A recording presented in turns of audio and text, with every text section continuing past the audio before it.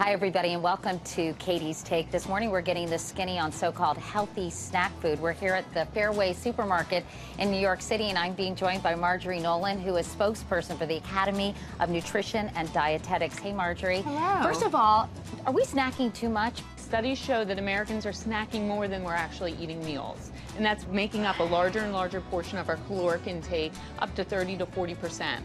One reason I wanted to do this segment is that I noticed that increasingly we see so-called healthy chips. We'll see if they're so healthy.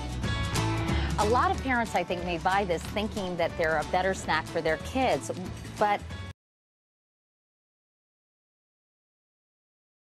they don't really look that healthy. What's the story? When we look at the ingredients, what we see is the first ingredient is actually potato starch. Potatoes are technically a vegetable.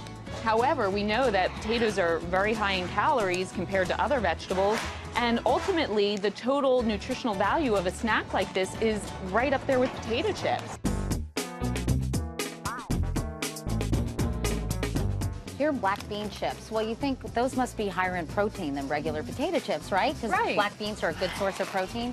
And these are. They're a little higher in fiber. They're a little lower in sodium. But ultimately, for one ounce, which is the standard portion for any chip or snack food item, which is like 10 chips, which is about 10 chips. In this particular product, that is exactly 10 chips for 140 calories. So it may be a better product in its ingredients. However, portion-wise, you're not going to get much for the caloric value. Right, but so you should eat 10 and no more than 10 of these.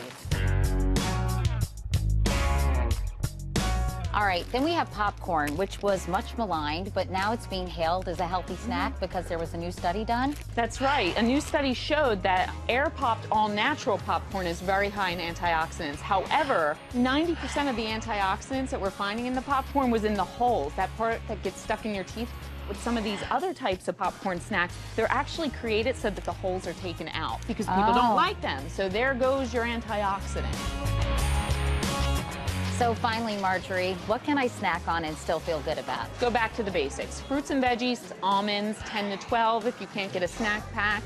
String cheese is a great snack that's very portable, as well as single serving yogurts, cottage cheeses, etc. All right. Well, Marjorie Nolan, thank you very much. Uh, you've spoiled my appetite, and that's probably a good thing.